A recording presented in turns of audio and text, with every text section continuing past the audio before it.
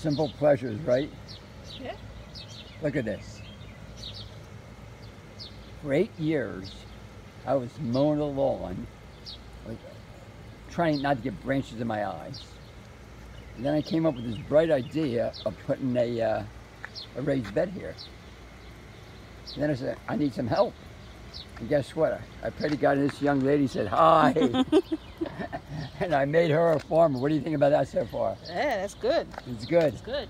It's So fun. we you wanted um, I lavender, wanted right? lavender. We Guess got, what happened we today? got a, a bunch of lavender Some lady today. brought it. You wished to God. Did you wish to God? You wished. I wish to somebody. You wished. And you got lavender. So this is this is my uh, lawn that I mowed, and this is the lawn that I mowed. This is the lawn I mowed, and guess what? I'm not going to mow it anymore. So every available space is now a garden. So we have, uh, uh, I think potatoes, lilies. These are peppers, peppers. I think this is eggplant. All those are strawberries. This is, uh, I think, bush pickles. This is kale collards. Keep in mind, eight years in a row of mowing. And one day I had this bright idea. Why should I mow? All these are tomato plants. These pickles, and I also made this path. And all that area back there was wasted space. What I learned now is take wasted space and make it usable. Look at that.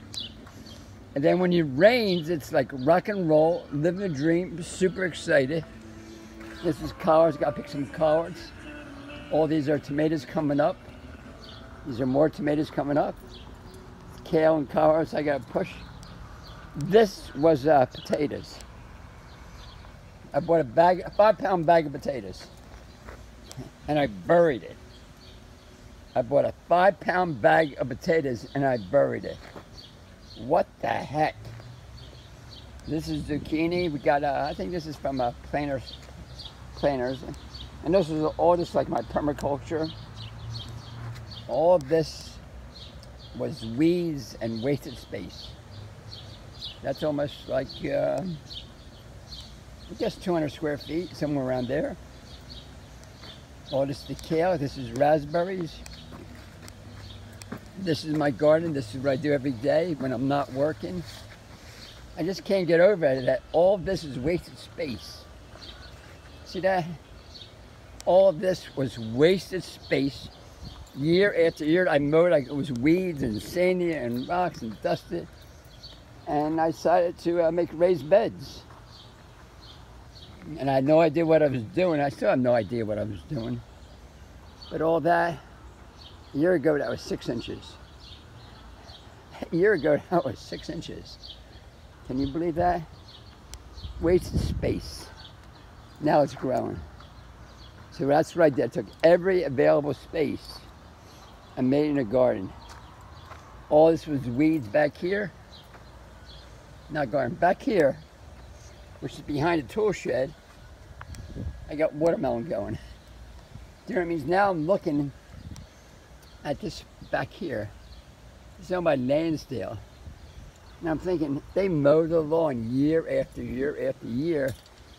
I'm thinking, how much can they put in there? They could put a lot. They could put a lot of, uh, could put a lot. And no one's doing it yet. Okay, maybe come up with the idea. This is it.